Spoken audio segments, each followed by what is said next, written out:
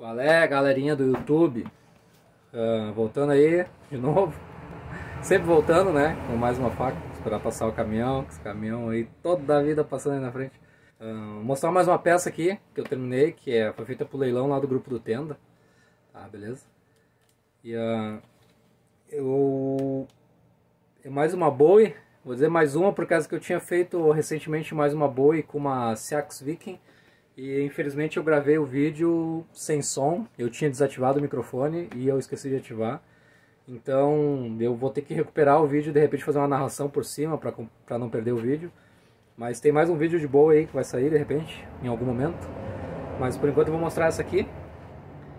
Uh, que é a boa que eu fiz pro leilão, beleza? Uma boa aí com 11,2 polegadas de lâmina e a área de corte dela tem 27 centímetros, né? No aço 6160, que é o que eu mais trabalho, basicamente. Então ela tem formato aí meio, não, não, não dizer padrão, mas tem um formato de boa, né? E uh, falso fio, falso fio vai até quase aqui atrás, mais ou menos aqui, não sei se dá pra ver. Ela tem uma guarda em S é, moldada aqui, tipo uma moldurinha, beleza? O cabo dela é em chifre de cervo, com espaçador em aço, micarta e couro. Pino de aço aí para fixação. Ficou bem bonito a tonalidade. Tonalizado com permanganato de potássio. Beleza? E uh, mas não tem muito o que falar, uma faca aí serve para caça, serve para churrasco também, né? Porque se caçar e quiser assar na hora, dá para usar. Tranquilo. É uma faquinha meio de campo aí também mostrar um pouquinho do corte dela aqui. Ficou com um cortezinho excelente.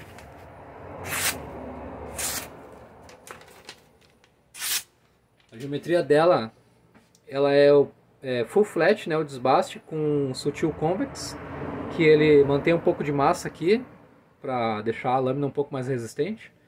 Mas a geometria dela é bem fina, bem fina de corte mesmo, corta muito bem.